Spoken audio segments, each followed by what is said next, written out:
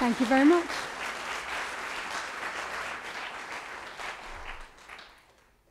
Just set myself up. I won't be long.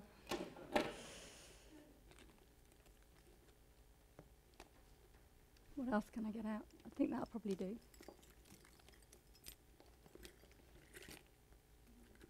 It's amazing how much you can fit in one of these handbags. There is something else hidden at the bottom here. But, oh, there it is. Right. I thought before I start looking at the future, I'd look at where we came from.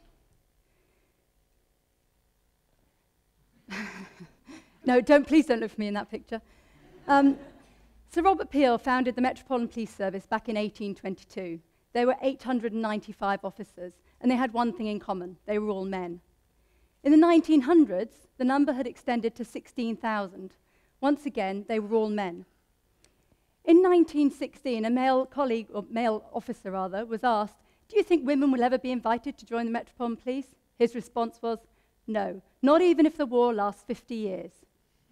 Three years later, in 19, sorry, 1919, women did join the Metropolitan Police.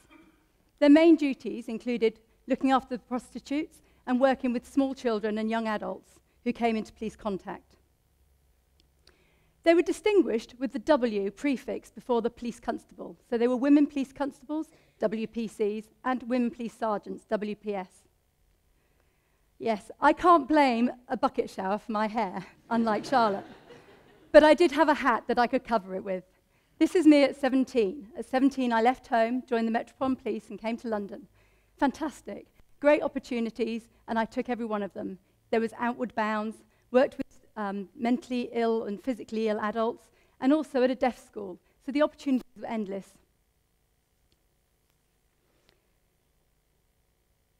At 18, I joined the regular police. As a woman police officer, we still had the W. I was still expected to look after children, although I was no more than a child myself back then. I was taught the law, how to defend myself, how to deal with mentally ill people, about race and faith, and how to arrest people. They provided me with all sorts of things a handbag, which was great because I had lots of books to carry, my handcuffs, a whistle.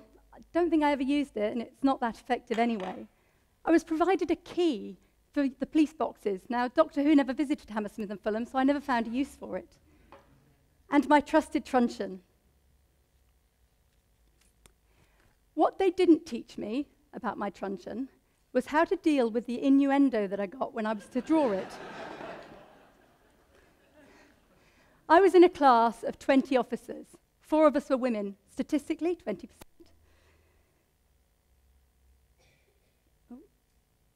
I was, however, selected for the colour party. The first woman ever, my drill sergeant told me. Was it because I was good at marching? No, apparently I had a nice wiggle. I don't think he'd get away with saying that today. You'll notice that I was wearing a skirt. We were never issued trousers back then. Um, it proved challenging, and I wasn't one to be left behind when going over walls chasing suspects. I worked with some great officers who were also gentlemen. However, I always let them go first. In the early 90s, football hooliganism was probably at its peak, and I worked at both Fulham and Hammersmith, uh, sorry, Fulham and Chelsea football clubs. Um, it was an interesting scenario. I was left on the turnstiles and told, search anybody that comes in for weapons and other things that they may throw at the pitch. So that's precisely what I do. I could do that. I knew how to search people, and there was no problem there. What I wasn't prepared for was the queue that formed at my turnstile and the men dropping their trousers around their ankles, asking to be searched. that type of learning comes with age and experience. Back at 18, I had neither. Oh, go back actually. That'll come later. So I was enjoying work. I was looking forward to doing other things, and there was plenty of opportunities in the organisation to, to branch out and, and look at other opportunities, joining the drug squad perhaps. I even considered promotion. But we, do never, we never know what's around the corner. And at 21, I found a lump in my neck. Nothing serious, but it was a bit irritating, so I thought I'd better go and get it checked out. Following a biopsy, CT scans, bone marrow tests, I was told that I had Hodgkin's lymphoma. It was my best friend who actually told me I had cancer because doctors had never said that. My, my biggest fear was work. How would I be away from work? Five weeks radiotherapy, intensive treatment. Um, how would I cope? What, what would happen? Would I have a job at the end of it? The duty inspector actually came to visit me in hospital and reassured me that if I got through the treatment and got myself fit again, there was no reason why I couldn't return to full active duty. So that's precisely what I set about doing. I took each day as it came, and it wasn't easy. There was a good degree of sickness. I lost a lot of my hair, but I was determined and taking each day at a time. I am a very positive person, and I always look good in every, and the best in every situation. So I did get back to work. My supervisors were very understanding. I would walk for four hours and then they'd come and pick me up and take me out in a patrol car because obviously my strength wasn't there to walk for eight hours. It was just too much. I have been very fortunate in my career. I've worked with some really amazing officers and also I've had the opportunity to meet some inspiring people. Three to four years ago, I met a young lady by the name of Nicola Adams. I was really taken by her. She was beautiful, both inside and out. And she was a boxer of all things. I actually asked her, I said, why would such a beautiful young lady want to box? Her reply was quite simply, because I'm good at it. Getting the gold at the Olympics proved that to everybody. I also managed to have a conversation with the Queen Mother, which was both warm and inspiring. I'd met senior officers, female officers, and I felt, do you know what? I can do that. And I studied for promotion. I got married. Now, in 1919, if I'd got married, they'd have kicked me out but I was able to stay. So we'll talk about what else had changed. My truncheon had changed into my asp, which is a great little piece. It's easy to carry, it's easy transportable, no innuendo, and much more effective. I love doing that, even now. they provided me with a Met vest. Um, these are my photos off the internet, so they're not actually what we carry, but the CS spray, which has been, you know, gives a bit of distance when we're controlling people. And only today I was trained in taser supervision. So things have come a long way. Ah, I also now wear trousers, and they are now issued as a, officers really do not get the skirt. In 1999, they actually got rid of the W, and everybody became police constables. I was promoted to sergeant, and the inspector looked at me one day and said, No, you won't be able to do that. Hello? There's a challenge. Won't be able to do what? You know, there's one thing that will make me do something. It's telling me I can't do it. I signed up there and then for riot police training. With my new knowledge came new confidence. And I recognized that our proactive unit at Hounslow at the time was being quite poorly managed, and the unit were really not that dynamic and weren't producing the results. I went to see the superintendent, and the following week I took over. Now, I had a great team of seven male officers and I was the sergeant in charge of them. And we had some really good results. On one day, um, a suspect for a robbery came out. I'd spotted him. Being the sergeant, you always lead from the front, so I was first out of the carrier, grabbed hold of the man, put him up against the wall, and then he looked down at me. He was much bigger. Was I scared? No, not at all. The confidence of knowing that my six officers would be right behind me, I had nothing to fear. And as he looked up, I thought, yeah, they're there. As far as the health goes, I have yearly checkups, um, not because they thought the cancer would reoccur, but because they didn't know what the long term effects are of radiotherapy. I knew there was a high chance that I would get skin cancer, so I've never used a sunbed, and I protect myself when out in the sun. I'm quite fortunate that I don't burn. There's also, because of the area that they treated, a high chance that I'll get lung cancer. I don't smoke and I avoid smoky places, and the smoking ban really helped. There is also a high risk that I would get breast cancer. But I'd put myself onto a yearly screening program so that could, I could be monitored. I kept myself fit and healthy and felt that, you know, everything would be fine.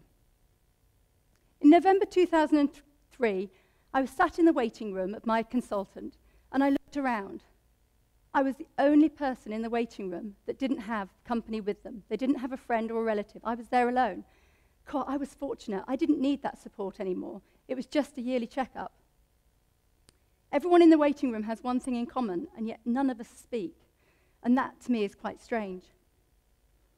I sat in front of the consultant, and he said, There is a one in three chance that you could get breast cancer. Not because of any gene that I'm carrying, but because I'd had the radiotherapy treatment. And there was a time frame. It was seen that people who'd had radiotherapy could get breast cancer between, one, uh, between 10 and 15 years. So there was a tight time frame. I was already 12 years, 12 years past it. He mentioned a preventative measure, and I'm thinking, yeah, great, this is good. And then he mentioned double mastectomy. Yeah, the rest of the conversation was pretty much a blur. I don't think I was listening. I just was, my mind was racing. He did mention that they could reconstruct my breasts. Now, I went home and discussed it with my family. Looking back, I've only ever regretted things I've not done. I've never regretted anything I have done.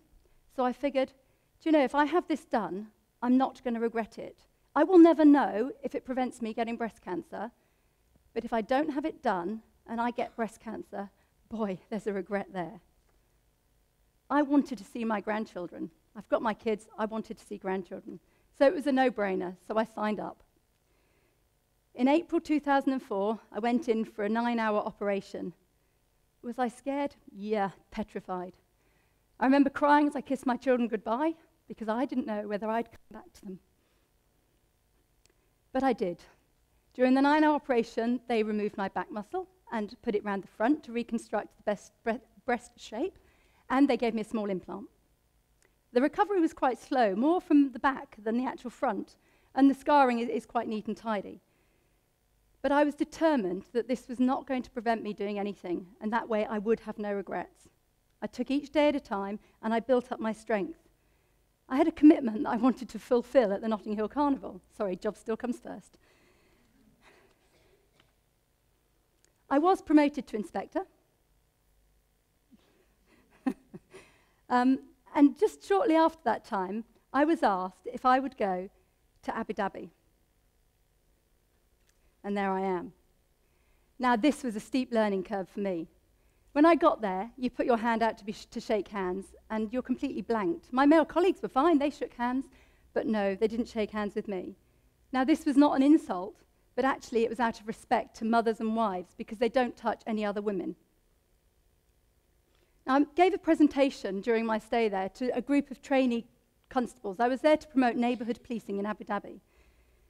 I'd already been told that women do 20% the work of men, so why would they even consider having them in the organisation? But they did. They had a few who had joined. And I'd noticed they'd been sat at the back of the lecture. Following on, after the lecture had finished, they asked if they could speak to me alone. Okay, I could do that. Now, one of the first questions they asked me is how do I control the men that I manage? Um, I kind of thought, you're sitting at the back of the class, nobody really knows you're there, and, and I've already been told that you're not being very productive. You know, let's focus on what you can do. What is it you can do that is better than your male colleagues? So they have a prostitution problem in Abu Dhabi, and obviously I already knew about some of the issues they have. This was something they could deal with better than their male colleagues. Also, young women that come into police contact. So that's what I said to them. I said they had to focus on what they could do. Sound like we're going back to the 1919, but you know, these were things that they could do better than their male colleagues. I talked to them about being assertive and to have confidence in their own ability. When they returned to class, the instructor told me for the first time ever they sat at the front. That is a small but very significant step. Whilst I was there, that's me with some of the women, I noticed that their uniforms were very different to their male colleagues. They're very military style. I dressed the same, as my male colleagues, except the long sleeves, out of respect to their faith. I had an audience with the Sheikh. Now, that is like their lead of police and prime minister all rolled into one. And I was asked to mention this to him, and I did with confidence. Um, and he took it on board and he said, Yes, you're right. And they have actually now changed their uniform, and their women constables dress the same as men. Every person has different skills and abilities, and we should recognize those and value them because it's really, really important. The opportunities for me have been great. I was last year involved in, oh, sorry, that's my long service medal. When I joined, I joined for seven years. Seven years was average for women, and I thought if I can get past seven years, then I'm above average. So that's what I had in mind. 23 years later, I'm still here, and that was the last commissioner giving me my, uh, my long service medal. So last year, I was involved in the Olympics. That is actually the Torch Route security team. The female officer with me is a superintendent who's both become a mentor to me and a friend over the last six years and been a real inspiration. Crime is changing. We have far more virtual crime now. Far more crime is on computers or crime that we don't really see, the frauds and things. So we've had to change too. We now have mobile fingerprinting. There's no more black ink that you see on television programs, but we can scan somebody in the street and have their identity back in minutes. We have handheld electronic devices, no more need for all my books. Will we ever have a virtual police officer? I hope not. I think it's really important that we stay out there. But we're also communicating differently. We're tweeting. I did some tweeting during the Olympics. And we're on Facebook. Another opportunity I had was to be involved in the celebration parade. And quite purely coincidentally, I was with two other female officers um, who are exceptional officers in their own right. Um, and that was taken by somebody in the crowd. I mean, it was, you know, as somebody's already said, the atmosphere was amazing. Some of the other things we use, and the heat seeking equipment, we use the thermal imaging to look for premises where there's been a high level um, or high heat, and, and it, it's, an, it's a sign for us that there's a cannabis cultivation going on because they need lots of heat for that. We do not really know what the future holds, but I would say embrace each new challenge and learn from them. Take every opportunity and never ever have any regrets. We currently have a chief constable in Surrey who's a female. We've not yet had a female commissioner. It will not be me, I can guarantee you that. But it could be anybody, and it could be one of the young ladies here. Thank you very much.